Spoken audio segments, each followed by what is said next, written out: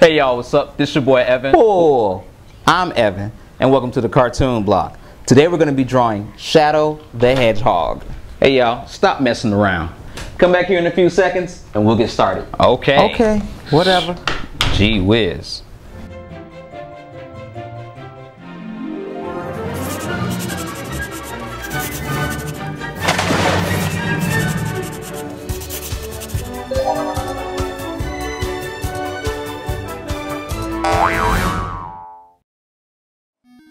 Alright y'all, let's go ahead and get started drawing Shadow the Hedgehog.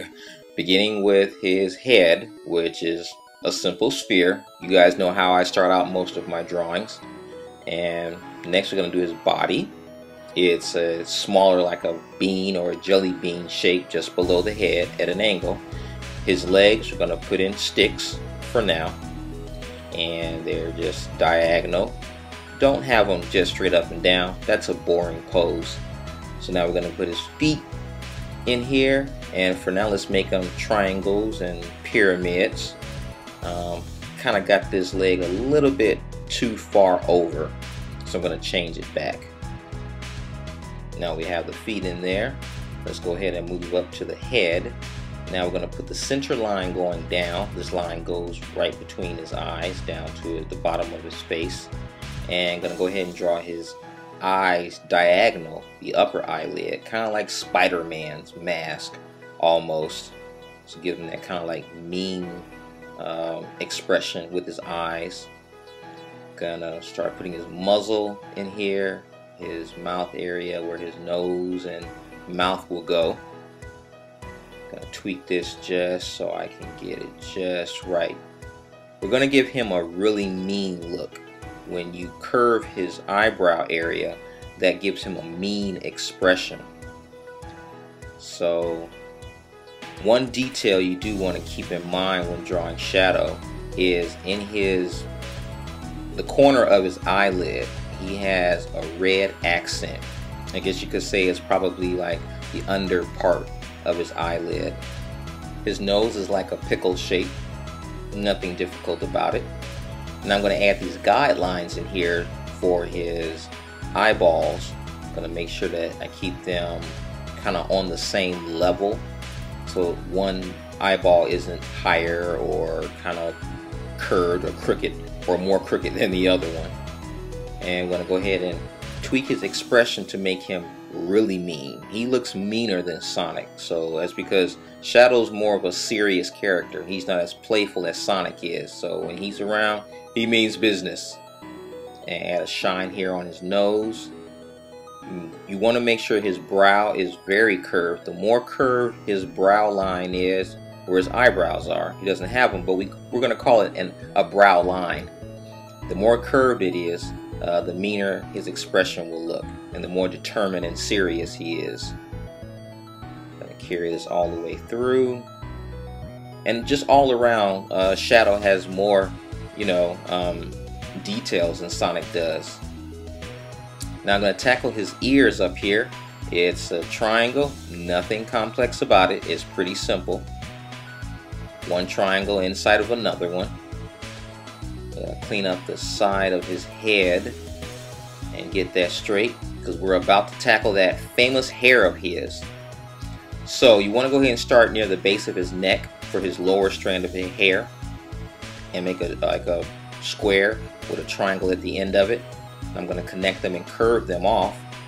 The same goes for his upper strand of hair like a slanted triangle, a slanted square, then a triangle, and then you curve it off. Kind of connect them here together and just make sure that his upper strand sticks out further from his head than his lower strand. A lot of people make the mistake of making that one shorter but no his upper strand of hair is longer. Now we're going to put that middle hair fin in his head. I don't know is he part of a punk rock band or something like that who has hair like this. And then gonna put this red streak. And then the red streak here on the side. Clean some of these lines up so I can see what I'm doing. and just deciding which lines I want to keep and which lines I want to get rid of.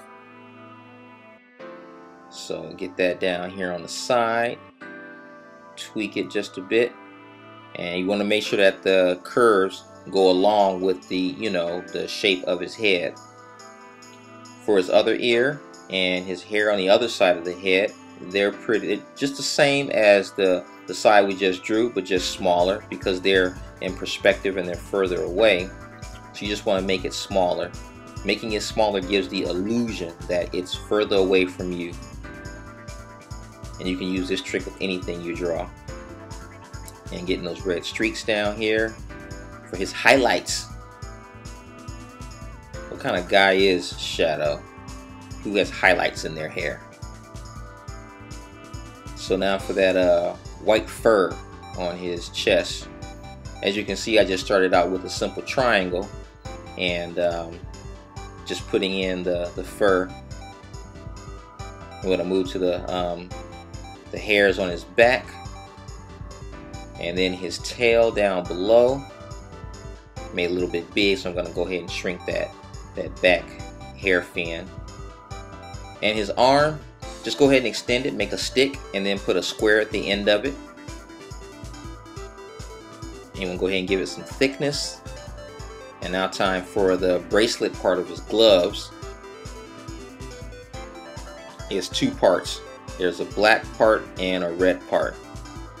Like I said before, you guys, he has a lot more details than Sonic does. So Sonic is a breeze compared to drawing Shadow. And I'm gonna flesh out his legs a little bit more. And fix the middle part of his body where his legs connect. Now I'm to go ahead and put in a block shape, a general block shape for his left hand. I'm to go ahead and give him a gun.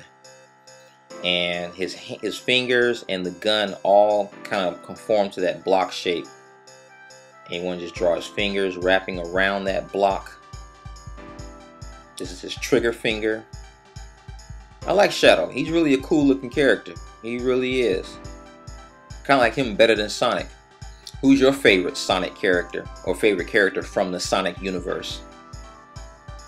Get this gun. Make sure your, your gun, if you're going to draw weapons on a character, make sure it's in the, proper perspective.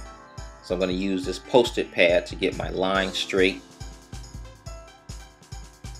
Yeah, looking better. Much better. Fix this finger in here. Now finish off his the cuffs on his gloves tweak these, get these just right. And once you have that square on that other fist, you just go ahead and add in simple creases in the finger and you're good to go. Now we're going to move down to his feet and I'm going to put them on the same line when he's standing on the ground. And you want to draw it like a, a trapezoid kind of shape. And because his shoes are very complex, this is a simple way to go ahead and draw them. You want to make sure his toes are lined up on this line along with these metal soles on his shoes. These have got to be the most complex shoes I've ever seen on a character. If you know a character who has more complex shoes or harder shoes than these, please leave it in the comments below. Because these are like some Kobe Bryant, Michael Jordan, Allen Iverson, you know, Reebok pump type shoes. So they really gave this character some hard shoes. So as long as your perspective is in order, th these shoes should be simple to draw. Just keep in mind that his shoes are the basic shape of uh, a pyramid almost. If you can keep that in mind, then the shoes won't give you a problem. So here I'm going to just go ahead and add in more details on the shoes put in those metal soles and the ridges and edges of them. The more detail, once you, you have, you know, the basic shape of your figure down, then you can go ahead. All the details are just simple dressings. You know, it makes it look cool. And he has a lot of detail on him. As I'm cleaning up, I add in details because some of the lines, all the sketchy lines, I, I'm very loose and sketchy. So since I have so many sketchy lines, I have to erase them in order to, for the details to read clear. I like this gun, so I'm to go ahead and give it some shine, some tweaking, just make it all around pop more off the page. His hair is too big, so I'm to go ahead and shrink it here just somewhat. From here on out, I'm just cleaning up, tightening lines. Oops, forgot his mouth. So, he wouldn't be much of a character if he didn't have his mouth. And the shine in his eyes, so can't forget that either put his shine in there first and then put the iris of the eye in there. Take my time with that one. I think it looks pretty good. And go ahead and do the other eye. Get it down there. And that shadow. Thanks for watching, and I'll see y'all next time. Be sure to check out the other channel, Cartoon Block Uncut, for other cool behind the scenes stuff. If you could be any character from the Sonic universe, who would you be and why? Leave your answers in the comments below. Till next time, deuces!